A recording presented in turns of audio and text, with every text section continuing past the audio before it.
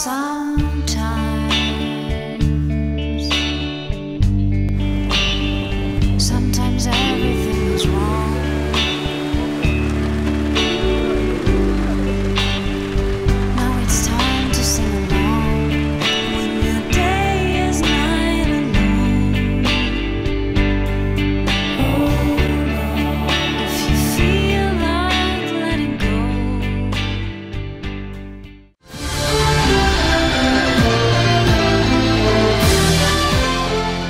As mesas com tabuleiro que foram reformadas para voltarem à Praça Rui Barbosa não serão mais instaladas no local.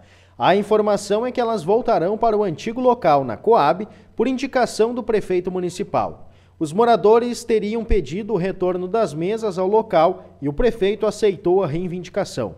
O fato é que as fotos tiradas antes da reforma das mesas mostravam a condição em que elas se encontravam. Todo o trabalho de reforma e instalação das mesas na Praça Rui Barbosa havia agradado muitas pessoas.